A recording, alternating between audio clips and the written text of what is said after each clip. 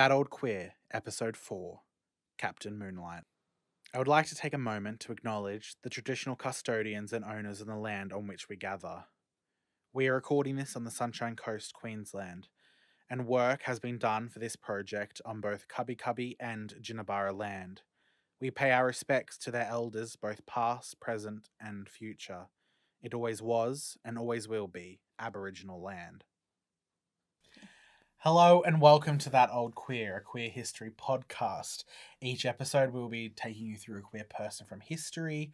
Uh, my name is Anthony Borsato. I, like every other episode, will be your host tonight, and joining me as always is Tayler Gale, my co host. Who are we? We are just a couple of queers that your mother would have warned you about, who is sick of our history being overlooked, rewritten, destroyed, or homogenized. How are you today, Tayler? I'm quite well, actually. Episode four. Did you think we'd make it this far? No. Your confidence is overwhelming. no, it's great. We're, I think we're fine. Yeah. What have you been up to? I've been actually working on a couple theatre projects. Oh, would I be involved in one of them? Just maybe. Just maybe. It's not like you're supposed to be like my whole plot on it. Um, um, currently working on, the, as you know, the creative development of um, a project that tells classical text through the lens of a board game, mm, and we're focusing on Shakespeare's The Tempest at the moment. which is, you know, such an exciting text. It's it lends itself so well to like a fantastic game that Yeah. we're really looking forward to. Hopefully, hopefully this artistic development will lead to greater things about it. But Yeah. we're not hundred percent sure. Are you ready to get started though? Yes. So keen. So, as always, we start with the segment Who They? Hooray. Who They? This is a segment where I give a random fact about the person we are exploring today to Tayler to read out, and then she has to guess who we are talking about. I don't think she's going to get it this year. This year. This year. This podcast, because I've made it a little bit more difficult. It's almost like a some sort of poetry. Okay. to the fact, but I would be interested to see um, if she gets it. So, here is your fact. Here's my fact. It's upside down. Okay.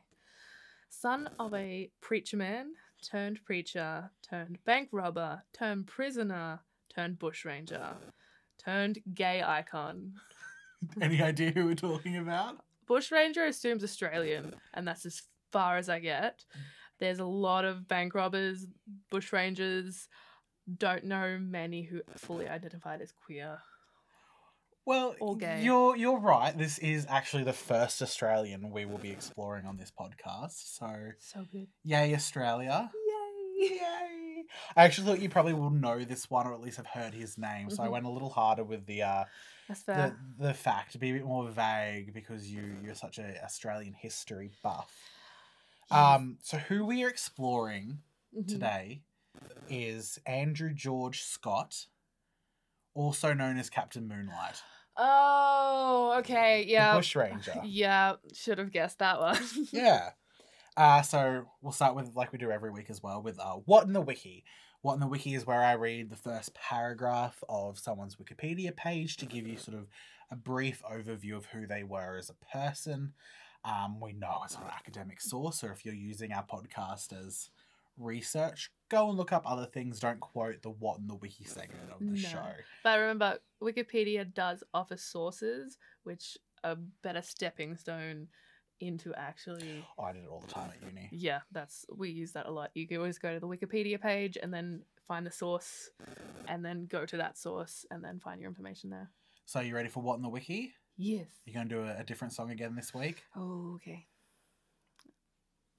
What in the wiki? Great. Don't have to worry about copyright music when you do that. So, what in the wiki for Captain Moonlight? Andrew George Scott, baptized 5th of July 1842, died 20th of January 1880, also known as Captain Moonlite, though also referred to as Alexander Charles Scott, and Captain Moonlight spelt L I G H T, where usually it's spelled M O O N L I T E Mm. um, was an he was an Irish-born New Zealand immigrant to the colony of Victoria, a bushranger there and in the colony of New South Wales, and eventually and current-day Australian folk figure. Yeah. That's it. That's it. That's the whole paragraph. It's quite short. It's so short. Yeah. Isn't that always with Australian history yeah, though? it You know? is. There's not. There's usually like small paragraphs compared to like massive paragraph for like a lot of places Yeah. around the world. I, I copied it over and I sort of went, God, there needs to be more there. Yeah. It was just like it was so short. I'm like, I've got to do a whole segment on this, guys. What the fuck? you couldn't have given me a little bit more. But yeah, that's that's what in the wiki. So, what are your first thoughts on Captain Moonlight? I mean, the fact that like Australian history nerd, so bushranger, so know who Captain Moonlight is, but the fact that he, I now know that he's gay icon, I'm very keen to find out more. yeah, I mean, I've been a little liberal with gay icon. I think Yeah. icon Well, status hasn't been given no, to him. Gay icon for me because I'm Australian and I'm like, yes, a gay bushranger. Work, Yeah. queen, work. Yeah. Ooh. okay, between us, gay icon, but like to hear that he is gay is fantastic because obviously doing own research for different things and doing Australian history in school, you obviously hear the name. He's referenced in uh, other texts in terms of like poems or even movie sh- movies and TV shows around Australia and around bushrangers, but never obviously mentioned him being queer. Well, I mean, I say gay icon. I think it's probably Again, definitely definitely queer somewhere is is Yeah. my opinion on this. yeah. Um, never specifically stated No. gay like so many people from history. So I'm guessing like the same sort of vibes that we get from um, Sappho in terms of, or even more obscure. and like Walt Whitman that we explored previously, it's it's very much that idea that it wasn't talked about openly. I think Mm. he probably talked about it more openly than yes, some others. that's fair. Um, but yeah, a little bit more. He he was born in Ireland, as I said, Mhm. son of Thomas Scott, who was an Anglican clergyman. Mhm. So, what do you think about a bushranger being a, a son of a preacher man? Actually, that's I mean it's great, but it's very common. I feel feel like it's generally a lot of them were like tied to the church and somehow, or like those sort of lot, lot of Irish bushrangers, like Irish-born Australians bushrangers. Yeah, Uh, my fa- I mean, my family came over as horse thieves, so I feel like I can relate. And Irish family. I'm not saying I'm Irish, but same roots. Um, yeah, there's definitely it's a very common theme in Australian history of that time. yeah. Um, what's interesting is that he didn't come straight to Australia. The whole Mm. family moved to New Zealand first in 1861, um, with Scott intending to try his lucks at the Otago goldfields. Yep. You know, gold mining was big over there as well as it was here in Australia. He was a part of the Maori Wars. I think we shouldn't shy away from facts that sort of are a bit icky about the people we were exploring. He did fight and signed up as an officer. Um, fought a battle at Orakau, I think I'm saying that right, where he was wounded in both legs Mhm. um, after a long convalescence, was accused of malingering and court-martialed. He gave his disquiet, disquiet. Um, so he was against and and talked about the fact that he was against the fact that women and children were being slaughtered during the siege Mhm. um, as the source of his objection to returning to service. Which So I mean, fighting in the war, but like points to going. The women and children are innocent in this; they shouldn't be slaughtered. yeah, I mean I don't know how much credit we can give him No. to begin with about No. fighting in the Maori War. Yeah. it was a much more colonial time. Mm. So, you know, that was But it the also environment he was. it's also in. depending on what he like who he's referring to in terms of the women and children. yeah, that's very true as well. And it also could just all been a thing he made up because he didn't want to go back to war because he got hurt. That's fair. But yeah, we're not going to try to shy away from the sort of facts about someone. Yeah. It's we don't agree with it. Mm. The fact that the Maori people had a war fought against them for their land. Yeah. Um, As every country and civilization against colonizers. Yeah. But he shortly after that moved to Australia. Mhm. Um, in Melbourne, he met a bishop, Charles Perry, Mhm. and he was appointed as a lay reader. So he was a lay preacher man. So in the, in the fact I Mhm. gave you, he I said, you know, son of a preacher man turned preacher. He was a Yeah. lay preacher, meaning he was given money by the church. He was paid by the church to go and preach, but he was never an official minister or bishop or Yeah. anything like that.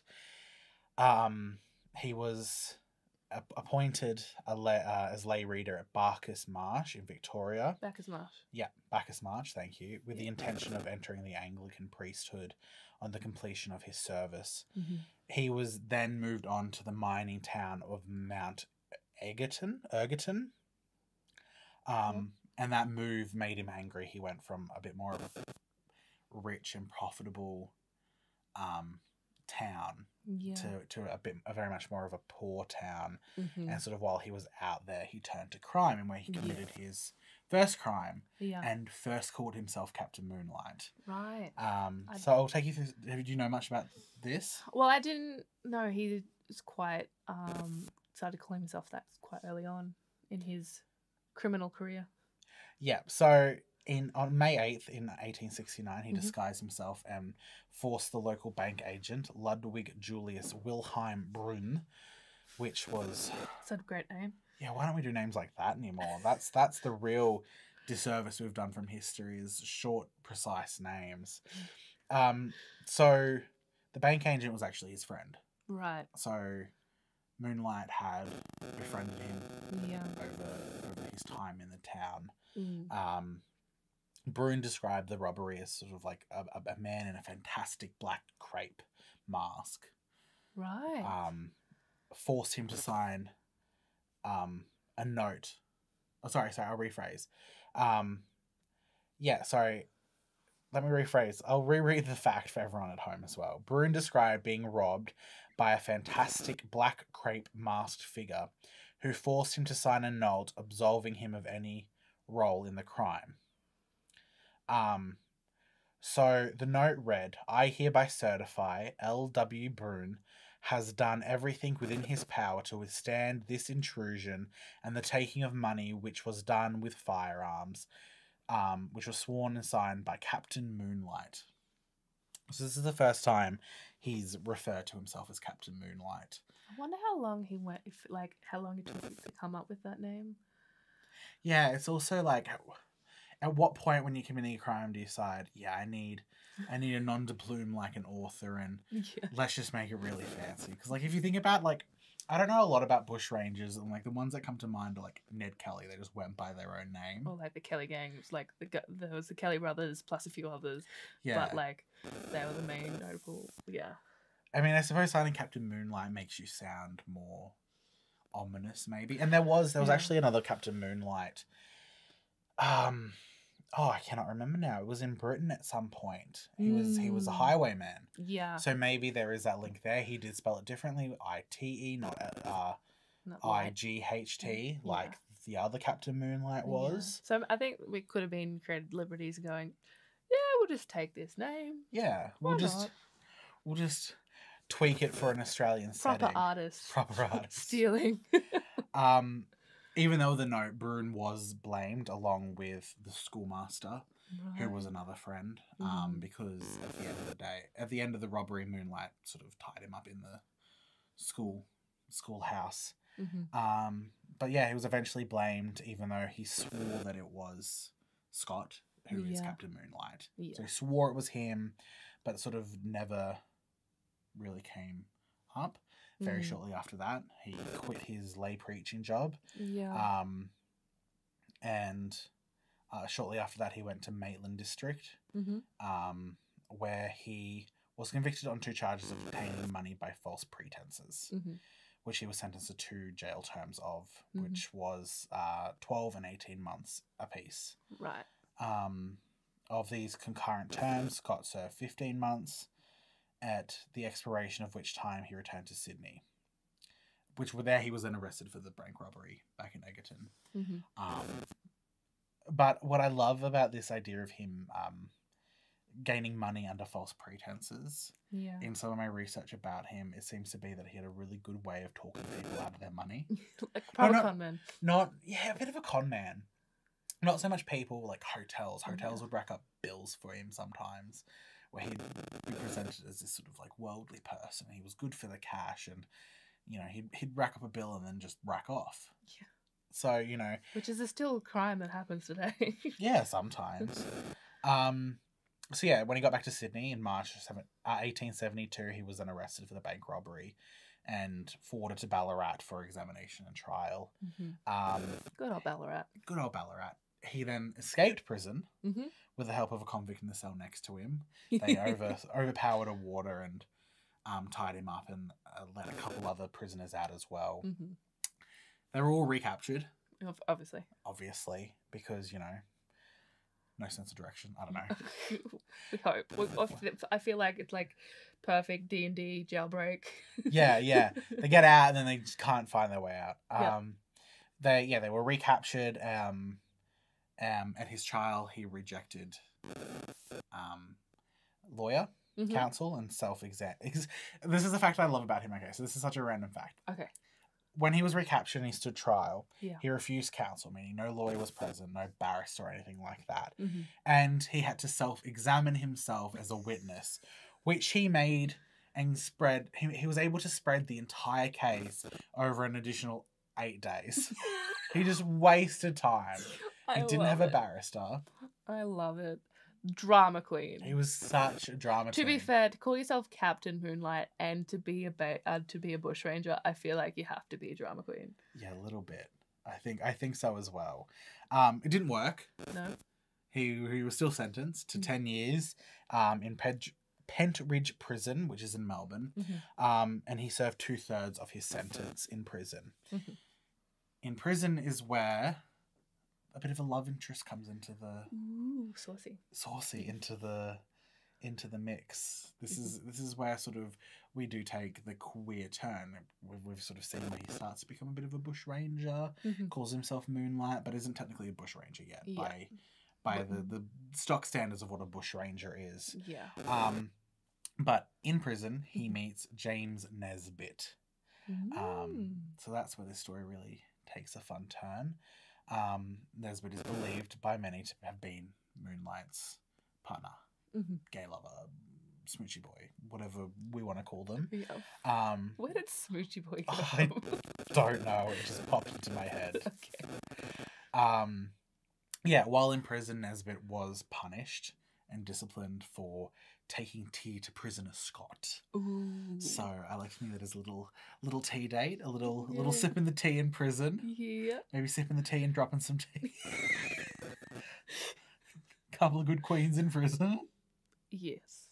Um, and yeah, once they both got out of prison, they shared a rundown house as well. Mhm. Um, Scott earned a few pounds once they got out of prison, talking about prisoner reform. Right. Um, but a lot of places refused to book him due to the fact that he was um, a convict at this Yeah. point.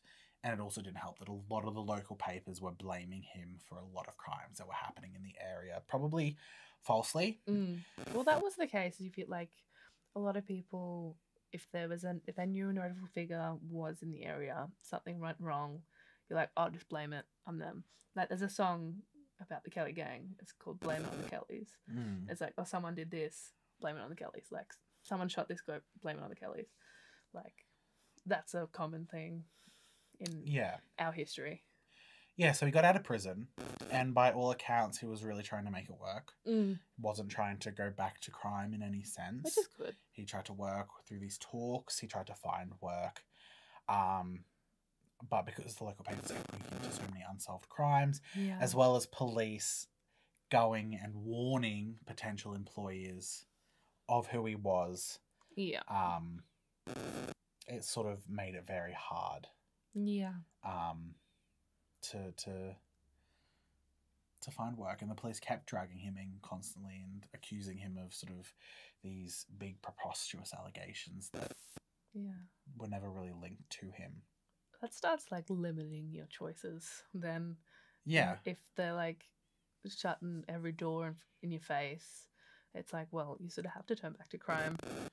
yeah, and that's sort of what happened to a degree. Mm. So Scott, who was Moonlight, I'll keep saying that. I'll, I'll either say Scott or Moonlight about him, but Yeah. Moonlight and Nesbitt, his his his man, um, decided to leave Melbourne Mhm. and started walking up to New South Wales, Yeah. looking for work in small towns. Um, yeah, just sort of like walking along, trying to find work, and they were eventually joined by a small group of young men. Mhm. Um, they would be Thomas Rogan, who was 21, Mhm. Thomas Williams, 19, Graham Bennett, 18, and the youngest of the bunch is Augustus Wernicke, who was 15. Ooh, that's pretty young. He was very young at the time, um, and by all accounts, Moonlight held some sort of power over these boys. He was 34 at the time. Yeah. So he was quite a bit older than him, and apparently they all basked in admiration of him. Fanboys. They were a bit of a fanboy, according to most accounts, that they, they really enjoyed and really sort of admired him. Well, I mean, if we've already talked about him being like being able to talk people out of money or like rack up these bills and like being a worldly man, I'd say that he's like very char- charismatic. Mm. And so these young people who mostly didn't have many prospects sort of just latched onto this charismatic figure. And it almost sounds like they could worship him as a god. I think a little bit. I think there was a bit of idol worshipping about Yeah. him. Um, they sort of uh, accounts from this time don't really say if they did crimes. They may have done petty crimes at this Mm. time. Yeah. But Scott later wrote that as long as our money lasted, we bought bread, and when our money was gone, we sold our clothes and bought bread with what we obtained for them. We Mhm. tried to get work but could not, and we fasted day after day. So there is this idea that they were still even wandering out of Melbourne trying not to do crime. Yeah. I think they really try not to go back to prison as Yeah. well. But, I mean, Um, think of the time, prisons were not great. prisons are still not great. Yeah, but like the fact that tea is a thing that it's hilarious in terms of like seeing a lot of these colonial prisons and around the time like conditions were not great. Um, No. So I would understand why they're trying not to go back there. Yeah. Yeah. Yeah, they didn't um but they didn't really start bushranging until they sort of hit, hit um Mansfield in Victoria. Mm-hmm. And and what's interesting is this was actually a sort of Kelly gang area of Yeah. operations and they overlapped. They were in the same time. Um and they were frequently mistaken for the Kelly gang. And I think they sort of took it sort of reported that they took this as an opportunity to sort of receive food and and and Yeah. seize guns and ammunition from I mean, homesteads. to be fair, w- in that situation, would do the same. You're walk into town, you're bunch of blokes. They're like, "Oh, the Kelly gang's here! Like, don't upset them. They're gonna, someone's gonna die. Here's food. Yeah, cool. Yeah, we're the Kelly gang. Like, yeah. yeah. There, there are reports. Well, sorry, there's one report from Okay. this inspecting superintendent of police, John Sadlier, who who made a highly improbable claim that Scott had sent word to Ned Kelly, sort of that Mm. sort of sent word out to Ned Kelly asking to join forces, for which Kelly apparently sent you know words back threatening Moonlight that if his band approached them, they'd be killed. But there's sort of no evidence to I, suggest. I doubt. I think that's just a fan, like fanfare in terms of, and spreading rumors and actually trying to get that to happen, so they just kill each other off. Yeah. But Um, but other reports have them that stating that the group had been living on damper and koala meat, yeah, um, and then no food when they approached Wantabadgery Station near Gundai, um, Gundagai, Gunda guy. Yep. um, which was a property that was known to ha- be hospitable to a lot of people. That they, that Mhm. you could, you know, find a, a food there, find water there, find a bit of respite there. That they'll give you a feed for a little work. Mm. Um, and this is sort of like where they really sort of became bushrangers. yeah. They only have one really one big thing that they did that sort of like cements them as bushrangers, and it's Mhm. this what happened here um, at Wantabadgery Station. Mhm. So it was known as this place where you could get a feed for a bit of work, a place to stay, but it had recently changed hands. Right. So the people who had owned it had, you know, sold it, and they would find no sympathy there anymore. Yeah. Um, Scott later wrote that misery and hunger produced despair, and in one wild hour we proved how much the wretched dared. He was a bit of a poet. Yeah. Um, so they, when they got there and they couldn't get through, they retreated into the into the bush, hmm returned with guns in hand transforming at last into sort of like this persona that Yeah. was Captain Moonlight. He finally became Captain Moonlight Yeah. and came back and and sort of took the homestead. Yeah, for what it which is very taking a homestead's a very common thing with our bushrangers.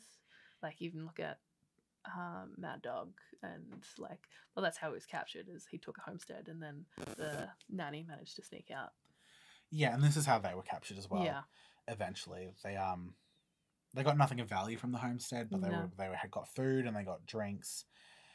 Um, but sort of it's reported that Moonlight wanted a little bit more, hmm so he went to the the hotel close by the Australian Art Hotel and detained everyone there and forced them back to Wantabadgery Station. Yeah. Um, where it all almost seemed that he was more concerned with with sort of playing as a gentlemanly host than robbing them for anything.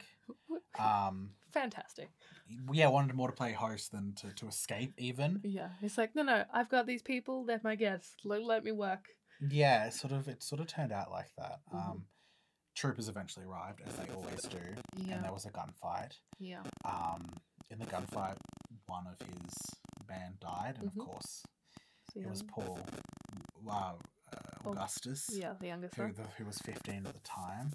Apparently, when he was shot and he was wounded and dying, he was screaming out that he was only 15. I'm only 15. Apparently, he cried. Um, and Nesbitt also died then, his lover. Ooh, He was shot in the head. Um, a journalist at the time described, um, sorry, a journalist at the time described how, as Nesbitt dies, Scott wept over him like a child, laid his head upon his breast, and kissed him passionately. So his lover had died. yeah, Um, it's kind of sad. yeah, Apparently, by all all accounts, it was when Nesbitt died, he s- broke almost mm, in that very moment. Um, unfortunately, at the same time as this is happening, a senior constable, mm. an Edward Webb Bowen, had taken a bullet to the spine and would subsequently die, which sealed all their fates pretty much. to be hung. Um, not all of them. Okay. Um, Johns and Bennett. Mhm. So Johns was, um, sorry, Bennett received an eventual commutation on the grounds of his youth. Mhm. Scott and Rogan, Mhm. Um, who hadn't even fired a shot, that Yeah, was Rogan, um, walked to the gallows on the 20th of January 1880 and were buried at Sydney Rookwood Cemetery. So Moonlight was condemned and hanged. While Yep. awaiting his hanging, Scott wrote a series of death cell letters, which we'll get into a bit. What's very interesting about this is, yes, the trooper being shot sort of sealed the fate, Mm, but also what sealed their fate is that they were operating at the same time as the Kelly Gang. yeah, They they were very much given very harsh sentences because they were members of the Kelly Gang. Although they were operating at the same time as the Kelly Gang, and they hadn't got the Kelly Gang yet. yeah. And I feel like there's always that you're doing this, but they're the ones we want, so we're going to punish you to scare them Yeah, or take out our anger out on you. yeah, which they definitely did. Yeah, like because considering like what they did is like not that. They didn't kill anyone. They didn't Besides that one police officer who eventually died from being shot. Yeah. Um, it's kind of sad though that um that that Rogan got killed. Yeah. By all accounts, he hid under a table while the gunfight happened. Oh, and didn't fire uh, any shots. So it's kind of yeah. That's Um, that's a bit shitty. but you know, you're part of a, a You're bush ranger gang. Yeah. Um, as I said, Moonlight was condemned and to be hung. While in prison, he wrote a series of death cell letters, which are sort of like the crux of where we really sort of get this idea of them being a bit more than friends in Yeah. in a more of a documented form. Um, to Nesbitt's mother, Moonlight wrote, and I'll read the whole letter because it's Okay. it's quite beautiful. So from Darlinghurst Jail, 19th of January 1880, from prisoner Andrew G. Scott, alias Moonlight. My dearest Mrs. Nesbitt, to the mother of Jim, no colder addressed would be true. My heart to you is the same as to my own dearest mother, Um, Jim's sister are my sisters, his friends my friends. His hopes were my hopes, his grave will be my resting place. And I trust I may be worthy to be with him when we shall all meet to part no more. When, when an all seeing God who can read all hearts will be the judge. Be long before I am with him in his grave, Mrs. Nesbitt, mother of my Jim, may the great God enable you to bear the great loss you have suffered.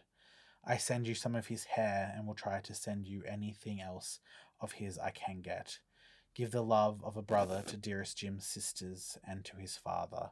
Farewell, my dearest Mrs. Nesbitt. I am ever to you a loving son in spirit, A.G. Scott. So he loved Beautiful. Nesbitt. Yeah. Um, and this is really where he he he states the fact that he wants to be buried with Nesbitt as well, which is sort of like historically this thing that we see a little bit with queer couples. Oh, actually, speaking, Achilles and Patroclus were the same Yeah. in in from the Iliad. Yeah. Achilles wanted his ashes mixed with Patroclus's. This idea of them being buried together. Mm. Um, in another letter, again, he stated to be buried beside my beloved James Nesbitt, the man with whom I united by every tie which could bind human friendship. We were one in hopes, in heart and soul, and this unity lasted until he died in my arms. yeah. So this is why I sort of like I look at this and sort of go, you know, it's a bit more than just friendship. Oh yeah. There's like that letter itself is just like heartbreaking. It really is. It's there is his his writing was actually really beautiful. mm. Um, he was known as a bit of a poet. He did like to write. Yeah. Um, I thought that I think that adds to him being quite charismatic, just by nature yeah, he was very poetic. and his way with words and Um, yeah, and and to talk like that about another man, mm, you know, it doesn't really feel. no. To talk like that, like as another human, doesn't feel to be on a friendship level. No, like I I adore you and you're one of my closest friends, Yeah. but when you die, I'm not going to be like bury me with her. Yeah, no, like you, you won't write that to my mother. No, I would not write that to your mother. No. Um, in another letter, he actually used um, a, a, a quote uh, in another with a plea to, in another letter with a plea about his burial. Mm. He he had a quotation from um, uh, Felicia Hemans poem entitled. "The Lady of Provence," which was a, a poem which was about a woman's feelings to her dead lover. Right. So it goes, Now call me hence by thy side to be. The world thou least has no place for me. Give me my home on the noble heart. Well have we loved, let us both depart. So he loved Nesbitt sort of with all his heart. It was his it was his last wish to be buried with Nesbitt. That was like his whole thing. Bury me with James Nesbitt. Yeah. Um, he was eventually hung on the 20th of January 1880, and he went to the gallows wearing a ring of Nesbitt's hair tied around his finger. A lock of Nesbitt's hair he had with him when he died. Um, unfortunately, his final request to be buried with Nesbitt was denied, and he was buried at Rookwood Cemetery. hmm So, thoughts on Captain Moonlite, the gay bushranger of Australia? I mean, you can like charismatic dude. You can see why these young men who like I assume I'm just assuming have no prospects. That's why they're traveling with him. We're like enthralled and like, yeah, we're gonna go with this man. He's gonna lead us to a better life. I don't know, and had it's very clear that he felt so strongly for James Mm. that like that would have cr- like would have crushed him his death to and to die in his arm like I can't even imagine that No. I've like neither of us have felt that strongly about someone so, so it's it's interesting because I've done research on um, Patroclus and Achilles, which will probably eventually be an episode on this as well. So I won't go too far into it. But people try to to deny some of these writings about both of them as this Mhm. idea of oh, but they were they were just really good friends and this friendship that was born in the crucible of hardship. And I'm just sort of like the way they're writing to any queer person Yeah. is so clearly more than just mate. Or You know? like and even it's different to being like brothers at arms and sort of thing. Like it's very clearly there is love and like absolute admiration Yeah. and, like he obviously adored James. He did. Yeah.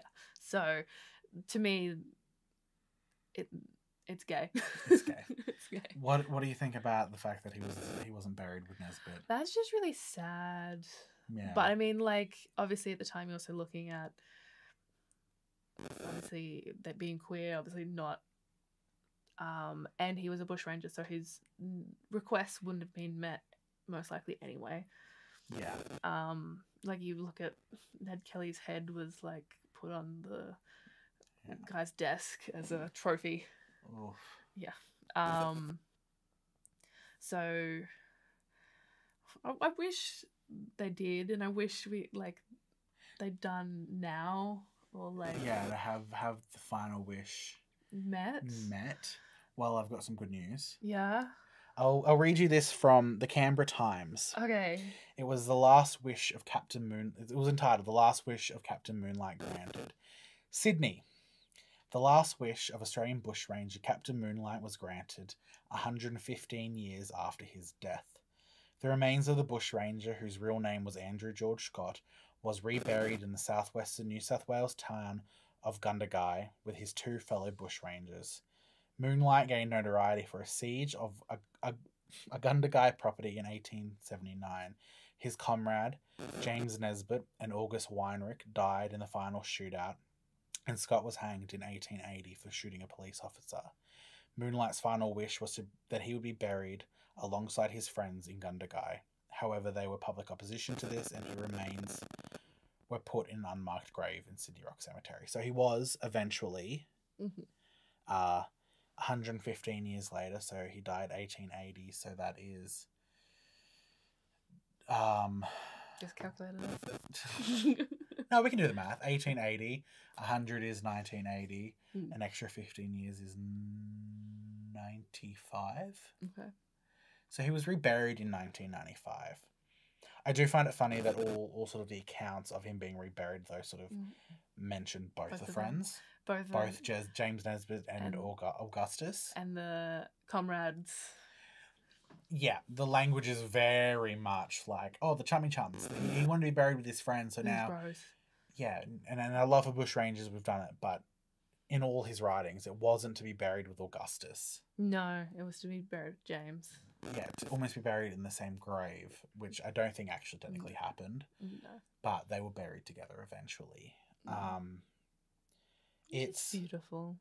it is beautiful, and and like there has been a lot more research and a lot more discussion around the fact that he's been reburied with a loved one now. Yeah. Um, but even it's it's it's funny. There's a politician from around Gundagai, and I was reading a an article, Mm. and this this lady was huge in getting him moved, Yeah. and even she was like, "Oh no, they're just mates." I Mm. think they were mates. People can read into it, but they were mates, and I'm there going, "No, But that, but that might not even be her view publicly. Like that might, might be her view publicly, but that might not be her private view on it. I think that was her view on it. Yeah. And and a lot of people just sort of go, "Oh, they were just friends," but to write like that about someone Yeah. even if you are so extremely hurt by their passing. Um, but yeah, at least they were buried together. And there's some there's a, there's some really great stuff out there about them now. If you want to go do your own research, which I encourage people to always do. We've got a book here. Yeah, yeah, I've been reading a book about them, and there's another one that just recently came out as well. Mm. Um, but yeah, Captain Moonlite and James Nesbitt, I think, are unsung queer icons of Australia. Oh yeah, hundred percent. And I'm glad they were finally buried. I just kind of wish that even when they were reburied, it was. It's it's one of those things where we now look at history. It's like they did the right thing, but do they do it for the reason that Yeah. we would hope them to do it. It was Yeah. to honor a bushranger, not to honor the last wills of someone to be buried with the love of their life. Yeah. It's this idea that even in '95 they would honor someone as a criminal, but not as a, Yeah. a queer man. Yeah. Which is I think we got to take the win for the what it is. really? Like obviously I wasn't born then, so I can't even we You weren't born in '95. No. I'm so old. No, I mean, I was seven. I was only three. you were so- only 3. But yeah, I th- yeah, I guess you're right. We could take it as a win that they finally actually Yeah. um got buried together, which is lovely. Mm. But just some of the way he rode. Oh, I feel like we need to go visit his grave. Yeah, we should do a- a road trip. Queer road trip. Yeah. Would people be interested in that? A, a, a, a queer road trip of Australia where we get on the road and we just find the gay places of Australia? I know I'm interested. yeah, I'd be interested in that. I mean, there's a lot of probably sad stories as well we'd go through, but Yeah. um, oh, Tayler doesn't know this, um, but as you guys know, each week we have Mhm. an artistic response from a queer artist. I'm not scared. but this week is a bit of a surprise, um, as it hasn't actually been done yet for us to insert into it. Something that none of you will know probably is that Ms. Tayler Gale here was raised with some of Australia's best bush poets being performed in her backyard. Yes. Um, so I thought it was only appropriate for a bushranger that we would have a bush poem done. So this is me throwing down a challenge to her to write one. Um, don't worry, you won't have to wait because we're probably going to insert it through the magic of editing. yes. Um, but she's going to go away and write one, and it will be right here. It was Moonlight and his Jim that met in Pentridge Prison, an unlikely place for love. But it bloomed over blooming cups of tender tea. An extra day added to Jim's sentence was simply another day together. Gone were days dreaming of just freedom, but days of stolen looks, laughs, and lust. A bond formed in shackles, a bond for a free future.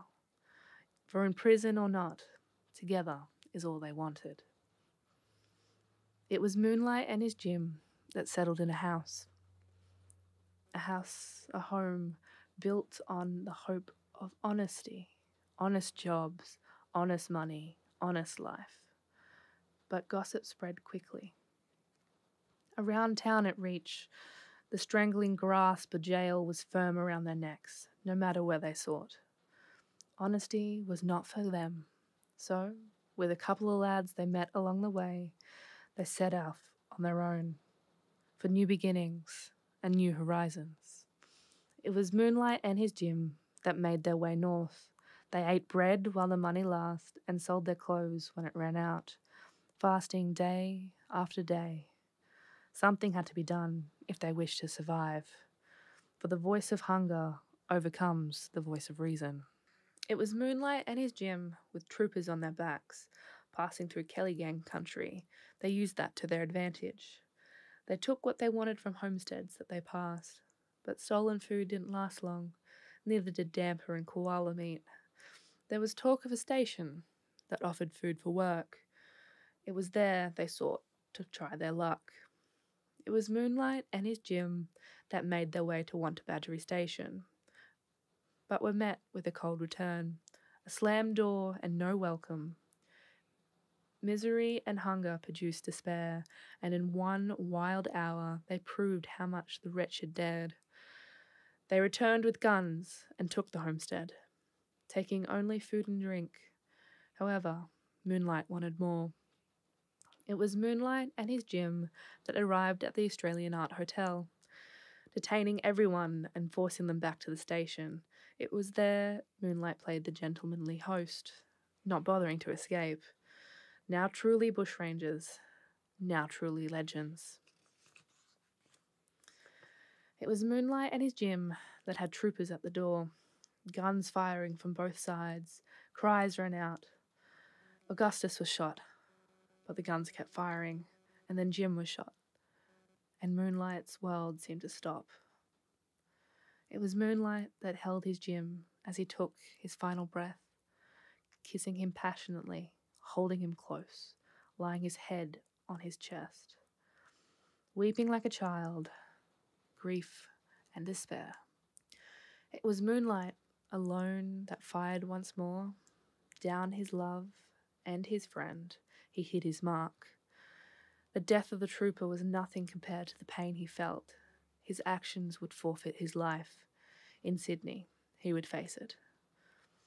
It was moonlight alone in a cell that wrote before his doom letters full of love, full of Jim. A man he was united by every tie that would bind them, one in hopes, in heart, and soul. I wish to be bound once more in their graves. It was Moonlight and his friend Thomas that walked one last time. They faced the noose together, Jim's hair wedlocked around his finger. Moonlight took his death in stride. The hope of seeing his love again gave him peace of mind, but his request to be buried with his Jim denied, and their graves sat apart. It was moonlight that lay alone. A century had passed, his wishes not forgotten, and in January 1995, Moonlight and his Jim were buried together at last. Wow, that was that was brilliant. Thank you. Seeming I haven't done it yet. I was I was acting for the camera. Just to, it was it was uh, yeah we haven't seen it guys. Um, but you guys will probably see it shortly after we see it for the first time as well. So leave a comment in the comment section. Yeah. Is that the way to rephrase that? Leave a comment to let us know how Tayler went. Uh, any final thoughts on Captain Moonlite before we leave? I mean, we have a gay bushranger. I know. It's so good. Don't you just love it? A gay bush ranger. It just even sounds fantastic. I want, like, I know obviously Captain Moonlite didn't do a lot in terms of being like fantastic story and stuff like that, but it's just no. I want something that's like even if it's just another book called The Gay Bushranger. Yeah, I he was a looker as well. I'm gonna show Tayler a, a picture and we'll probably put one up on screen for Yeah. the for the um, YouTube watchers. But this was him. I mean, it's it's got a very piercing look. His eyes are a little crazy. This isn't a great picture. We'll put probably a better picture than I've got here. Yeah. But yeah, a gay bushranger. I'd love to see more gay Yeah. Australian history. I think I think really I want to do see if I can find some more Mm. um queer Australian history yeah, absolutely. to explore. I mean, we have such a we have a, a short history for colonization, but we've got such a long history in this country with our First Nations people Mm. that it'd be interesting to see their perspective on it as well, and maybe maybe one day we'll have a guest in to to explore that from their perspective to teach us about their history with queer figures and queer Absolutely culture. But even even since colonization, who who do- who do we know? If you guys know anyone, let us know as well. Any Australian figures that we definitely should have on And cover. and cover. Um, I feel like we need to go on like a road trip. that'd be so fun. Like a a, a, a, a, big queer, a big gay slash queer Mhm. road trip Yeah. that just takes us to, to all the to the major hotspots. Mm. I mean, there'd probably be a lot of sad things as well. Yeah, I feel like it's gonna be a very sad podcast, a very sad like series. Yeah, like you could explore the hot. Oh god, I love that the first thing that pops into my head is like the the murders of gay men at Bondi. But that's like, oh yeah, queer history in Australia, the murders at Bondi, Woo! and then, then Mardi Gras, the first Mardi Gras in the world. yeah, So figures from there we could probably explore as well. I mean, it's a bit more recent than anything we've explored so far, but Yeah. they are just as important in, in our Mm. history as queer people, and and have actually been able to lend their voices and identify themselves Mm. a lot more than anyone else we've explored. yeah. So let us know if you'd like us to explore um, that as well. Mhm. Uh, finally, like we always would, we like to thank Nyssa Ray for lending us her studio today. She's a brilliant Sunshine Coast based singer songwriter. Um, she very generously has lent us her space for these first four episodes. Yeah. um, maybe more going forward. Um, but please go give her some love. Her stuff is absolutely brilliant. Um, I believe you can find her on Spotify as well. That's where I listen to her, Yeah. Spotify. Um, and she has socials as well, which will be linked down below if you're on YouTube. Mhm. Um, we would also like to acknowledge and thank the Sunshine Coast Regional Council and Arts Queensland for their support in this project through the Regional Arts Development Fund. They very generously gave us a bit of money to get off the get off the ground and start this podcast up. So we'd like to thank them. They do a great job supporting regional arts and arts workers throughout Queensland. That is everything. Thank you for joining us again. This is episode five. Uh, oh, sorry, Four, episode four. four. Um, we'll probably be taking a small break now before the next episode. We've sort of decided to put these out in, in lots of about four to five episodes, just so it gives me time to do the research properly and, and Yeah. to give everyone a proper moment that they deserve. And it also gives us a little bit of, of relief in between filming sessions. Yeah. Um, especially because going forward we won't have an influx of cash to support this. Um, but yeah, thank you for joining us, Thank and you. we will see you soon with another episode of That Old Queer. Um, thank you and goodbye. Bye. Funding was provided for this project through the Regional Arts Development Fund. The Regional Arts Development Fund is a partnership between the Queensland Government and the Sunshine Coast Council to support local arts and culture in regional Queensland. We would like to thank them for their support in the delivery of that old queer podcast.